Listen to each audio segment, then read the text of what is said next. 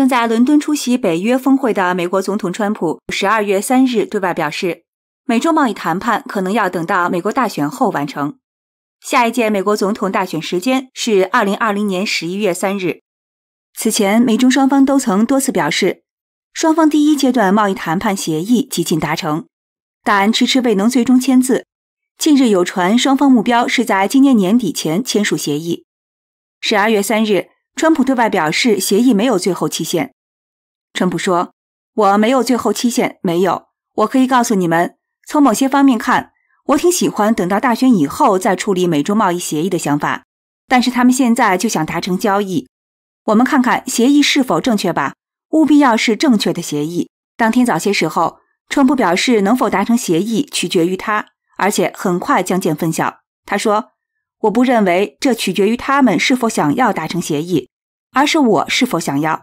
我不知道是否要这样做，但你们很快就会知道。”《华尔街日报》上周曾报道，中共副总理刘鹤已邀请美国贸易代表团于本周到北京继续磋商协议。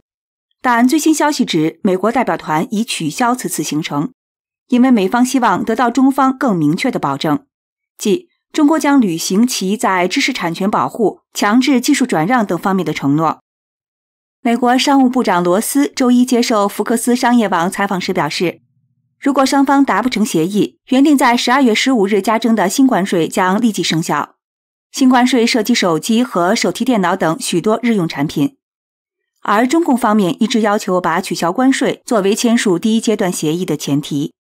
据美国媒体报道，有美方谈判团队消息人士周日透露说，目前双方的贸易谈判已陷入停滞，因为习近平需要时间去平复国内政治形势。从贸易战到香港危机，北京屡屡误判导致内外交困，川普又在感恩节前签署了《香港人权与民主法案》，更令北京当局雪上加霜。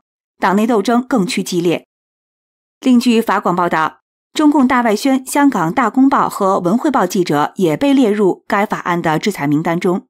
法案规定，美国国务院必须对刻意针对以及骚扰民主人士以及美国使馆人员的亲中共传媒旗下的记者列为入境签证监察名单。